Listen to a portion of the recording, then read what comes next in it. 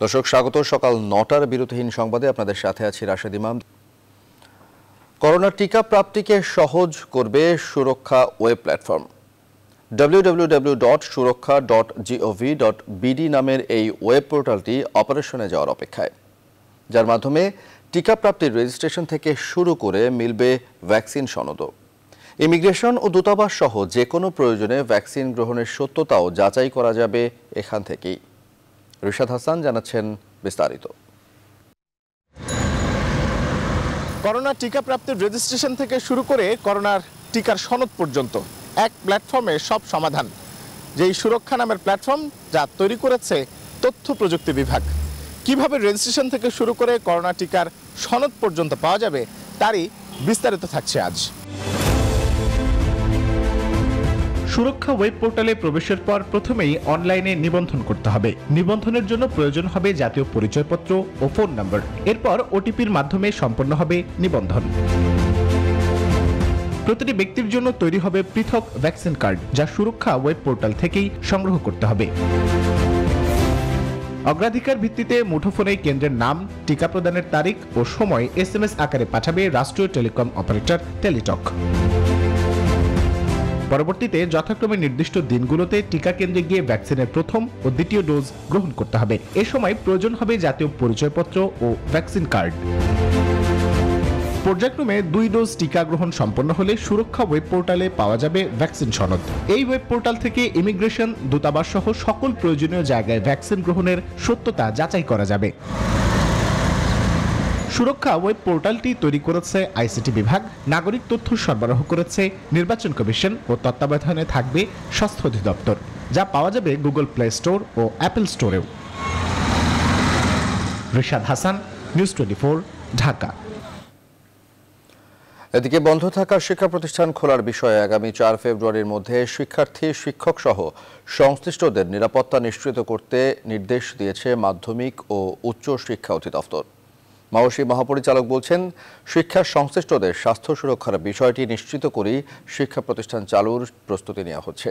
এদিকে সংক্ষিপ্ত সিলেবাসে এসএসসি পরীক্ষা নেয়ার একটি পরিকল্পনা মন্ত্রণালয়ে পাঠিয়েছে জাতীয় শিক্ষাক্রম ও পাঠ্যপুস্তক বোর্ড। এইচএসসির ফল দিতে আজ বিল পাশ হচ্ছে জাতীয় সংসদে। আরও জানাচ্ছেন সজল দাস। করোনায় বছর পার, বন্ধ শিক্ষা প্রতিষ্ঠান। দীর্ঘদিন আইসোলেশনে থাকা শিক্ষা ব্যবস্থাকে চালু করতে প্রস্তুতি শুরু করেছে শিক্ষা মন্ত্রণালয়। আগামী চার ফেব্রুয়ারির মধ্যে শিক্ষার্থী, শিক্ষক সহ সংশ্লিষ্টদের নিরাপত্তা নিশ্চিতে ব্যবস্থা নিতে দেশের শিক্ষা প্রতিষ্ঠানগুলোকে নির্দেশ দিয়েছে মাধ্যমিক ও উচ্চশিক্ষা অধিদপ্তর। এরই মধ্যে পাঠানো হয়েছে ইউনিসেফের সহযোগিতায় তৈরি উনচল্লিশ পৃষ্ঠার গাইডলাইন। মাধ্যমিক ও উচ্চশিক্ষা অধিদপ্তরের গাইডলাইন অনুসারে সবার জন্য বাধ্যতামূলক মাস্ক ব্যবহার, শিক্ষা প্রতিষ্ঠান পরিষ্কার পরিচ্ছন্ন করা, শিক্ষার্থীদের নির্বিঘ্নে চলাফেরা করতে প্রয়োজনীয় ব্যবস্থা গ্রহণ, নির্দিষ্ট দূরত্ব অনুসরণ ও স্কুলে প্রবেশের আগেই থার্মোমিটার দিয়ে তাপমাত্রা পরীক্ষা করার কথাও বলা হয়েছে। রয়েছে শিক্ষা প্রতিষ্ঠান খুলতে নিজস্ব তহবিল গঠনের নির্দেশনার কথাও। আগামী চার ফেব্রুয়ারির মধ্যে আমাদের সকল শিক্ষা প্রতিষ্ঠান যেন আমাদের শিক্ষার্থী শিক্ষক এবং কর্মচারীদের স্বাস্থ্য সুরক্ষার বিষয়টি নিশ্চিত করে। কীভাবে ক্লাসরুমে তারা বসবে?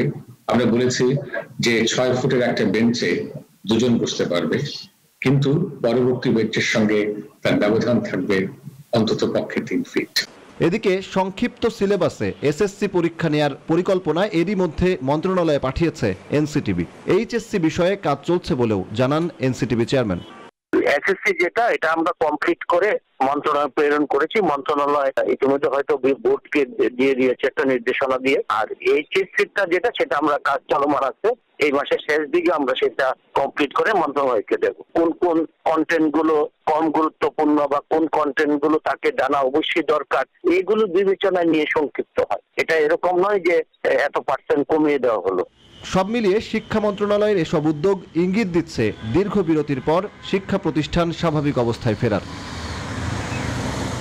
এদিকে পরীক্ষা ছাড়াই এইচএসসি ও সমমানের পরীক্ষার ফল প্রকাশের বাধা দূর করতে সংসদে উত্থাপিত তিনটি বিল রোববার পাশ হতে যাচ্ছে। একটা কথা বলতে হয় সজল দাস নিউজ টোয়েন্টি ঢাকা। ঘন কুয়াশায় বিপর্যস্ত হয়ে পড়েছে সারা দেশ। ব্যাহত হচ্ছে সড়ক ও নৌযান চলাচল। কুয়াশার তীব্রতা বাড়তে থাকায় মধ্যরাত থেকেই ফেরি চলাচল বন্ধ করে দেওয়া হয়েছে দৌলতদিয়া, পাটুরিয়া ও শিমুলিয়া বাংলাবাজার নৌরুটে এতে পারাপারের অপেক্ষায় উভয় ঘাটই আটকা পড়েছে বাস, ট্রাক সহ বিভিন্ন ধরনের কয়েক শত যানবাহন। ঢাকার সাথে যোগাযোগ বিচ্ছিন্ন হয়ে পড়েছে দক্ষিণ ও দক্ষিণ পশ্চিমাঞ্চলের তেইশ জেলার। ঘাট কর্তৃপক্ষ জানায়, পদ্মায় কুয়াশার ঘনত্ব বেড়ে যাওয়ায় ফেরির মার্কিং বাতির আলো স্পষ্টভাবে না দেখার কারণে দুর্ঘটনা এড়াতে ফেরি চলাচল বন্ধ রাখা হয়েছে। কুয়াশা কেটে গেলে অগ্রাধিকার ভিত্তিতে যাত্রীবাহী পরিবহন আগে পারাপার করা হবে।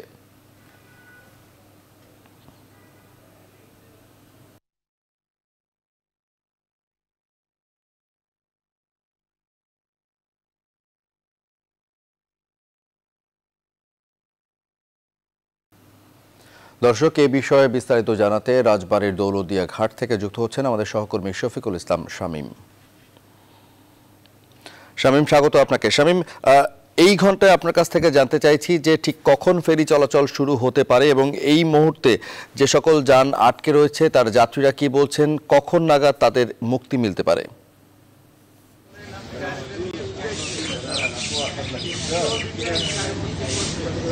ধন্যবাদ রাশেদ।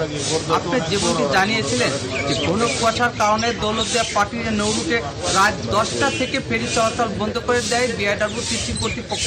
এদিকে রাত দশটা থেকে ফেরি চলাচল বন্ধ হওয়ার কারণে কিন্তু দৌলতদিয়া ঘাটে যাত্রীবাহী পরিবহন ও পণ্যবাহী ট্রাকের কিন্তু দীর্ঘ সারি রয়েছে। আমি আপনাকে একটু দেখাতে চাচ্ছি যে রাত দশটা থেকে কিন্তু যাত্রীবাহী পরিবহনগুলো দীর্ঘ সারি ধরে অপেক্ষায় করছে দৌলতদিয়া ফেরিঘাটে। যাত্রীবাহী পরিবহনের পাশাপাশি কিন্তু শত শত পণ্যবাহী ট্রাকও কিন্তু দৌলতদিয়া ঘাটে আটকা রয়েছে ফেরিপারের অপেক্ষায়। এরা কিন্তু রাত দশটা থেকে কিন্তু দৌলতদিয়া ঘাটে আটকা রয়েছে। তো সারা রাতই কিন্তু এসব যাত্রীবাহী পরিবহন ও পণ্যবাহী ট্রাকে কিন্তু শীতের মধ্যে চরম কষ্ট করতে হয়েছে। তো আমরা একটু বিষয় জানাতে চাচ্ছি যে যাত্রীরা কিন্তু এই দৌলতদিয়া ঘাটে থেকে প্রায় পাঁচ কিলোমিটার আর মহাসড়কে কিন্তু তারা আটকা পড়েছে। তো দৌলতদিয়া ঘাটে এক কিলোমিটারের মধ্যে কিন্তু হোটেল ও ওয়াশরুম থাকলে পরে কিন্তু এক কিলোমিটার পর থেকে কিন্তু রাস্তায় কোনো দোকান হোটেল এবং পাবলিক টয়লেট নাই। এর জন্য কিন্তু যাত্রীদের কিন্তু চরম দুর্ভোগ পোহাতে হচ্ছে। তো যাত্রীরা কিন্তু আমাদেরকে অভিযোগ আমাদের কাছে একাধিক যাত্রী আমাদের কাছে অভিযোগ করেছেন। তারা কিন্তু নিরাপত্তাহীনতায় কিন্তু দৌলত নিচেও নামতে পারছে না।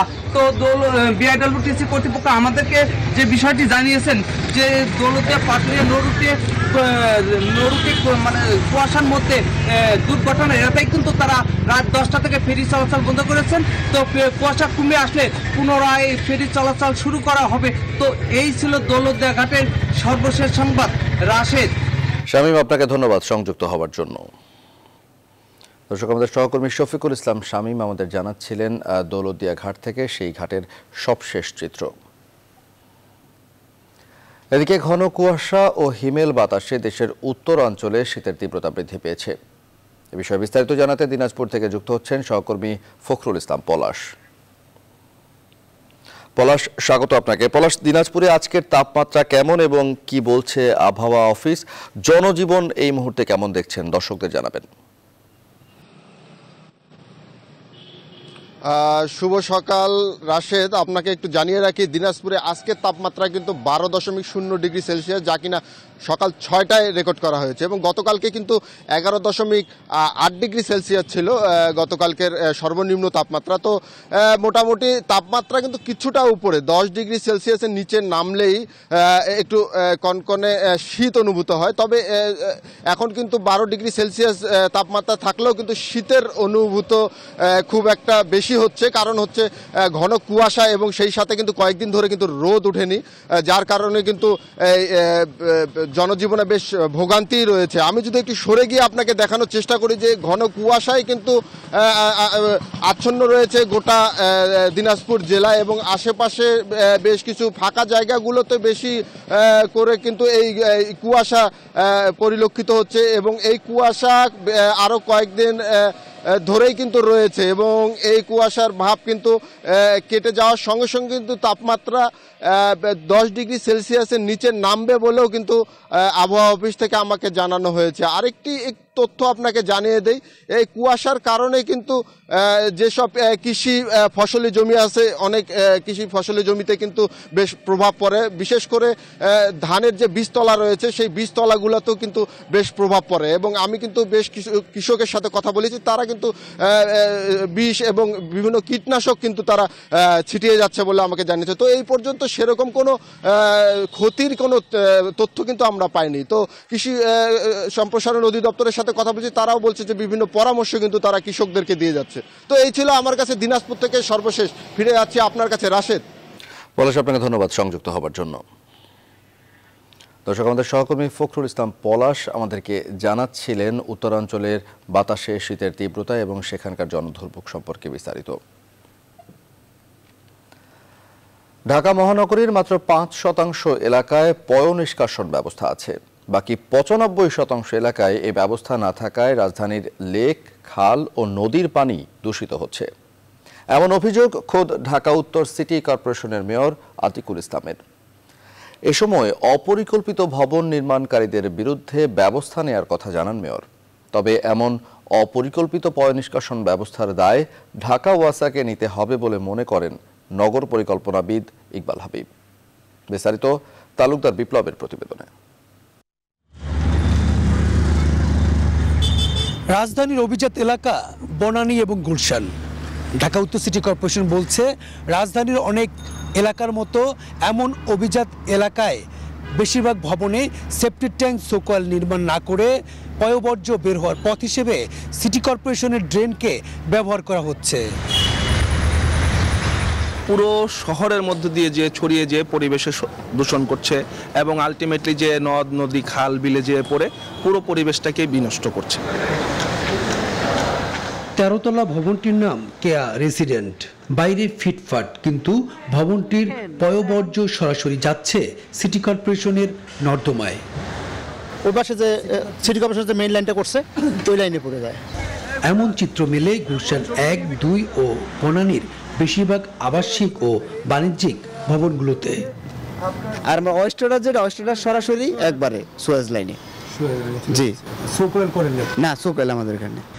নগর পরিকল্পনাবিদ ইকবাল হাবিব মনে করেন রাজধানীতে পয়বর্জ্য নিষ্কাশন ব্যবস্থা গড়ে তুলতে ব্যর্থ হওয়ায় এর দায় ঢাকা ওয়াসাকে নিতে হবে।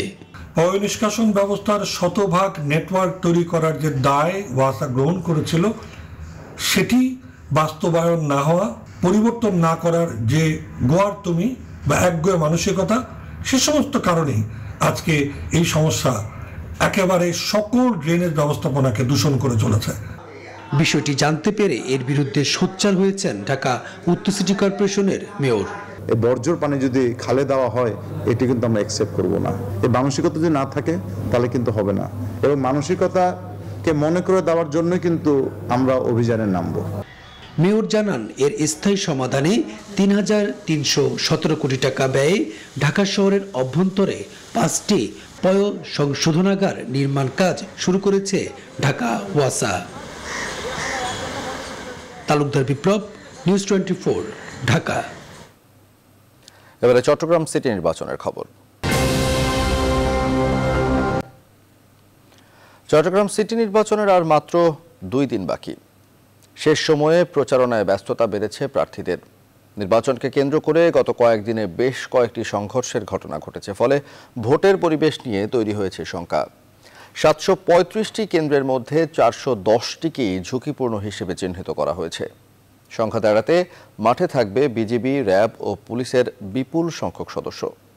শান্তিপূর্ণ নির্বাচন আয়োজনে বদ্ধপরিকর কমিশন। সার্বিক সহযোগিতার আশ্বাস স্থানীয় প্রশাসনেরও। নয়ন বড়ুয়া জয়ের তথ্য ছবিতে ডেস্ক রিপোর্ট। সাতাশ জানুয়ারি ভোট। সিটি নির্বাচনকে কেন্দ্র করে উৎসবের নগরী চট্টগ্রাম। পঁচিশ জানুয়ারি মধ্যরাত পর্যন্ত চলবে প্রার্থীদের এমন প্রচারণা। তবে ক্ষমতাসীন দলের কাউন্সিলর প্রার্থীদের মারমুখী অবস্থানের কারণে নির্বাচনের পরিবেশ নিয়ে তৈরি হয়েছে শঙ্কা। নির্বাচনী সহিংসতায় এরই মধ্যে মারা গেছেন দুইজন। মোট কেন্দ্রের অর্ধেকের বেশি ঝুঁকিপূর্ণ হিসেবে ঘোষণা করেছে নির্বাচন কমিশন। কেন্দ্রগুলো যেন নিরাপত্তা হয় আমার ভোটটা আমি যেন দিতে পারি। প্রশাসন যদি সতর্ক থাকে আমরা ভোট দিতে যাব। আমরা চাই কেন্দ্রত কোনো দলীয় লোক না থাকাও। প্রশাসন থাকক নির্বিল জনসাধারণ ভোট দাও। মধ্যে আপনারা দেখেছেন কিছু কিছু জায়গায় যে একটা উত্তেজনা ভাব ছিল সেই এলাকাগুলোকে আমরা গুরুত্বপূর্ণ হিসাবে চিহ্নিত করেছি। প্রধান দুই দলের প্রতিদ্বন্দ্বী মেয়র প্রার্থী ও নির্বাচনের পরিবেশ নিয়ে আশঙ্কা প্রকাশ করেছেন। আইন শৃঙ্খলা বাহিনী সেনাবাহিনী র্যাব বিজিবির মাধ্যমে একটা নিরাপত্তা বেষ্টনী তৈরি করা ছাড়া এখানে কোনো সুষ্ঠু নির্বাচন সম্ভব হবে না। প্রশাসনিক কঠোর তদারকি থাকলে ঝুঁকিপূর্ণ কেন্দ্র। তেমন কোনো সন্ত্রাসীরা সন্ত্রাস বা অন্য কোনো গোলযোগ সৃষ্টি করতে পারবে না। বিশ জন জুডিশিয়াল ম্যাজিস্ট্রেট ছাড়াও নির্বাচনে পঁচিশ প্লাটুন বিজিবি সহ মাঠে থাকবে র্যাব ও পুলিশের বেশ কয়েকটি টিম। কর্ণফুলী নদীতে মোতায়েন থাকবে কোস্ট গার্ড।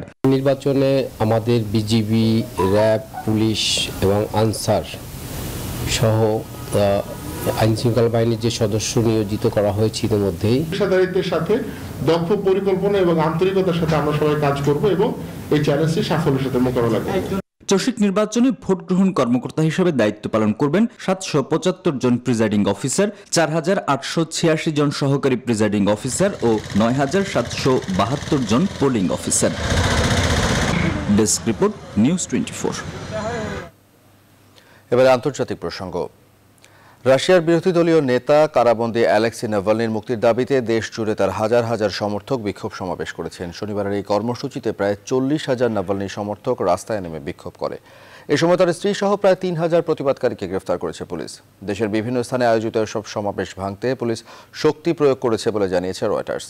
রাশিয়ার প্রেসিডেন্ট ভ্লাদিমির পুতিনের করা সমালোচক চুয়াল্লিশ বছর বয়সী আইনজীবী নাভালনি গত বছর আগস্টে রাসায়নিক বিষ দিয়ে হত্যার চেষ্টা করা হয়। বিষক্রিয়ায় গুরুতর অসুস্থ হওয়ার পর জার্মানির একটি হাসপাতালে চিকিৎসা নিয়ে সুস্থ হয়ে গত সপ্তাহে দেশে ফেরেন তিনি। কিন্তু বিমানবন্দরেই গ্রেফতার হন নাভালনি। অর্থ আত্মসাৎ মামলায় স্থগিত দণ্ডের প্যারোডের শর্ত লঙ্ঘনের দায়ে পরদিন সোমবার মস্কোর একটি আদালত তার ত্রিশ দিনের রিমান্ড মঞ্জুর করে।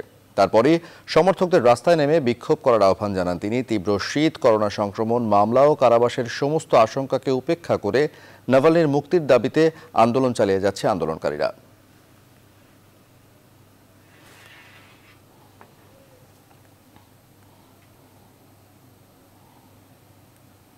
দর্শক, এই ছিল নিউজ টোয়েন্টি সকাল নটার বিরোধীন সংবাদের আয়োজন। পুরো সময় সাথে থাকায় ধন্যবাদ সবাইকে।